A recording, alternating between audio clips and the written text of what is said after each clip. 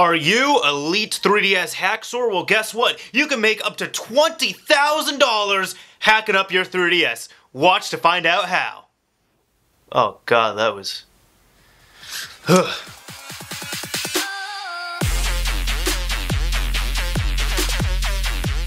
Hey, so what is going on everyone? It's me, Mr. Mario, coming in with the infomercial type intro. And anyways, I'm talking about this topic right here because I'd seen this, it cropped up a few days ago, and a few people asked me what I thought of it. I felt like making a video about this, so for anyone who does not know, Nintendo is now going through the company HackerOne, and they are going to be paying people to submit, like find and submit exploits for the Nintendo 3DS, both the 3DS and the new 3DS, through HackerOne, through this vulnerability program. This is for vulnerabilities, exploits, anything of the sort, and I'm gonna link the page down below in the description so you all can check it out. I also find it really funny because they end up, I mean this is smart, they're showing some of the examples of what they want, and of course it's, you know, cheating, and it's also, you know, types of things that will let people play pirated games and such, and of course make unauthorized copies, all that other fun stuff. But right here, some of the vulnerabilities include privilege escalation on ARM11 userland, ARM11 kernel takeover, ARM9 userland takeover, and ARM9 kernel takeover. Does that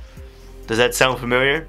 Does that I just I found that to be a bit funny that that was detailed there, but I understand why. So first off, is this a good idea? Is this a bad idea? Honestly, I think it's a good idea. And some people might be wondering, they're just like, Mario, you're you're you're coming away from the dark side. You're you're going too legit on us. You're you're not supporting homebrew anymore. Actually, I, I am. But I'm looking at this from two perspectives. I mean, first off, for people who wants to modify their systems, open them up, uh, you know, run third-party code on them, unsigned code and all that fun stuff, th this isn't good news, and I understand that. However, Nintendo at the same time is also a company. A company's goal is to, of course, make money, turn a profit, and they really don't want people hacking up a closed source system. If they wanted people doing this, they would have made the 3DS open source, but alas, they didn't. It's closed source, so therefore, they want to prevent this from happening. So it's smart of this to happen, because a lot of the people who develop these exploits, I mean, really, almost all, if not all of them, do this out of love. They do it out of, you know, their spare time and they do it for free. At this point here, they're now saying, hey, you know that thing that you've been doing for free and providing the community for? Yeah, instead of releasing that exploit, how about you just give it to us and we'll pay you money for it. Now this is nothing new. I know Sony, Microsoft have done this with their systems. I'm not too sure, but they've done it, you know, with their operating systems and such.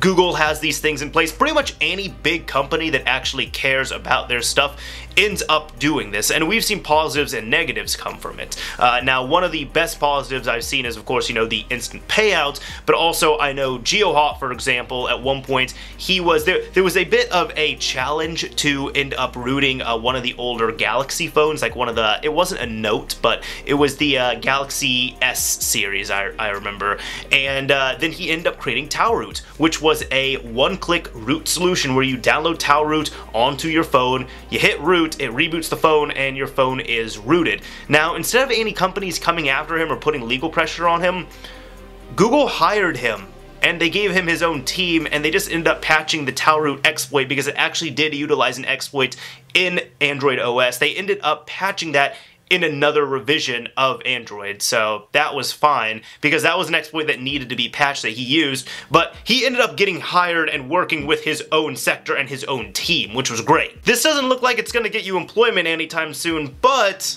if you are pretty skilled with this stuff with reverse engineering and you find a few things, you might want to turn those exploits in and cash out a little bit. I mean, honestly, it seems like it is against the scene and I understand it is, but I'm not the one finding these exploits and trying to, you know, utilize them. It is up to the people who are reverse engineering, and when it comes down to them, they're really going to have to take a conscious look at it and say, do I want to release this to the community for free or do I want to get some payment on this? Because now they can actually get paid for their work. Now, do I believe this is going to deeply affect the 3DS homebrew community and all that stuff? I mean, it's questionable. I feel like it can because I feel like there are going to be a good amount of people, not everyone, but there's going to be a good amount of people that are going to be finding exploits either that they wanted to make public, that they're going to be submitting privately through this program to make money, or they're just not going to tell anyone and they're going to submit them through here. Uh, really, I mean, I understand they're completely incentivizing people and that is their job and that is technically the proper thing to do.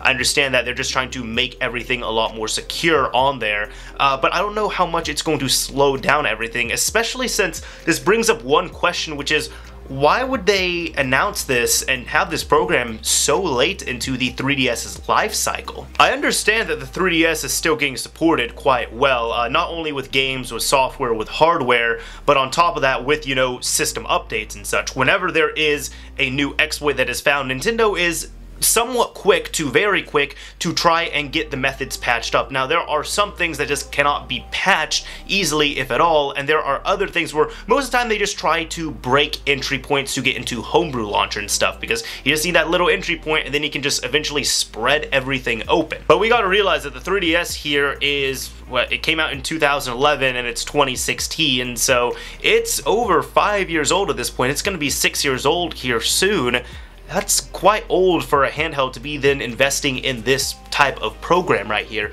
Especially when the Wii U as well too. The Wii U is a year younger and it doesn't have any of this stuff. In fact, the funny thing is with that, it just it hasn't been getting any support. For anyone that doesn't know, the Wii U has gotten one firmware update this entire year. That's it. Uh, as I'm recording this, which is December 7th, 2016, it's gotten one firmware update, and that has been exploitable for most of the year. Now, to anybody that might be saying, oh, well, there's an update that's coming out. 5.6 is coming out. We're getting an update on the Wii U. Yeah, well, it's not out right now. It's not in production. It's still currently for developers, for testers and such, so it's for dev kits. That's still an internal build. And at this point in time as well, it's like, okay, so if it comes out before 2017, we're going to get two updates for the Wii U in one year compared to how many updates we've gotten for the 3DS this year. So that's the main thing that surprised me, that this is coming out so late into this system's life cycle, and some people are speculating maybe this is to gear up for the Switch?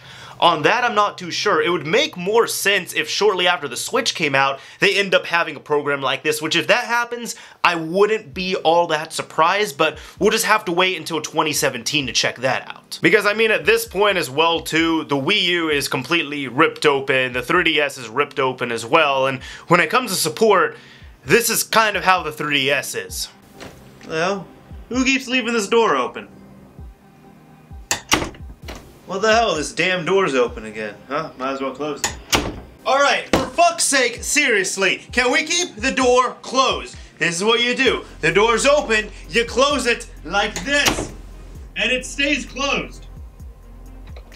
I forgot I left my chips in here. And when it comes to official firmware support from Nintendo, as I mentioned with the one firmware update that came out this year, this is kind of how the Wii U is. Huh. This door should be open, shouldn't it? I Guess it can it can stay that way. That's cool. What the hell? This thing will not stay open. All right, you know what? Let's uh let's fix that. Let's go ahead, take this thing right here, and we'll just prop the door open like that. There we go. Now can now we got a nice airflow thing going on, like whoosh. We got that. It's it's gonna be great. Now for my final thoughts on this, what this reminds me of is kind of what's happened with the whole iOS scene. Now, iOS, I was into that very early on. I'd say like I got in like on version 3.1.2, something like that. And I was, you know, jailbreaking iPods, iPhones, unlocking them, all that fun stuff. And back then, it was expected where when a firmware came out, shortly after, a jailbreak would come out, and then right after that, a unlock method would come out. And over the past few years, it's just taken longer and longer and longer for these updates to come out and for these jailbreaks to come out. And that's been kind of contributed to with a few different things. One of them is a lot of the developers are just not working on these things. Uh, there's not as much sharing going on as well too. Another thing is just kind of loss of interest in it. A lot of these developers have really, initially not really working on them as much. They've just kind of moved on to other projects or they got busy. They just left the reverse engineering scene, whatever it was. The third thing is bug bounties. These things pay Apple, for example, does pay good money. I don't know the details of it, but I've been told they do pay good money when it comes to vulnerabilities. And if somebody can find a jailbreak type vulnerability and they sell it to Apple instead of releasing it for free or giving it to the proper developers that would fully utilize that to have a one-click jailbreak type solution or even a two-click thing, whatever it is, then a lot of people are taking that cash out and then therefore that is getting patched up in firmwares, getting pushed out. It's getting to the point now where not only so many exploits have been closed up because iOS is so old at this point, but also a lot of people are kind of questioning, do I want to release this for free or do I want to make money off of it? Let's see what's going on. And that's kind of the same thing with the 3DS as well too. I'm not saying that there's no more exploits to be found, but with the system firmware being so old at this point, a lot of exploits have been patched up already. There's going to be more to come, but now people, again, are going to make that decision where it's like, do I want to release this to the right people, or do I want to make money off of it? Anyways, if you have any thoughts, opinions, or you want to rant about it, let me know down below in the comment section. I do look forward to reading your comments. If you enjoyed this video, a like would be very much appreciated. If you absolutely hated it, because I don't know, you hate bug bounty programs and all that stuff, a dislike is fine as well, too. Anyways, Hopefully you all enjoyed this video. Hopefully you all have something to say about this. And again, all the reading stuff will be down below in the description. I'm going to go play The Last Guardian, and I'm also a little hungry. Anyways, I'll talk to you all later.